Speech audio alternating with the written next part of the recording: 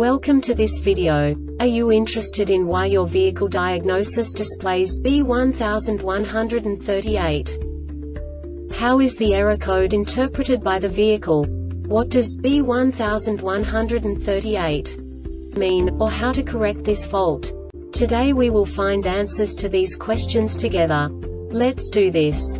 First, let's look at the history of diagnostic fault code composition according to the OBD2 protocol, which is unified for all automakers since 2000. We divide the electric system of automobile into the four basic units. Powertrain, body, chassis, network. This distribution is defined in the first character code.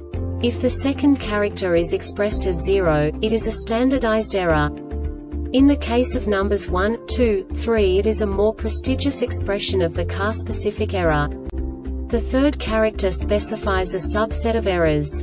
The distribution shown is valid only for the standardized DTC code. Only the last two characters define the specific fault of the group. Let's not forget that such a division is valid only if the other character code is expressed by the number 0. Our website airbagreset.sk produces useful videos for you. You do not have to go through the OBD2 protocol anymore to know how to troubleshoot any car breakdown. You will find all the diagnostic codes that can be diagnosed in a Chrysler vehicles. Also many other useful things. The following demonstration will help you look into the world of software for car control units. You unbelievably can move the video a bit further. The error code is split into two bytes consisting of 16 bits. One bit is the basic unit that each computer works with. The bit has two logical states. 0, low level, 1, high level. By combining the first two bits, the basic character of the error code is expressed. The next two bits again determine the second character. The last beat styles of the first byte define the third character of the code. The second byte is composed of a combination of 8 bits. The first 4 bits determine the fourth character of the code. And the combination of the last 4 bits defines the fifth character. A single byte conceals 256 possible combinations.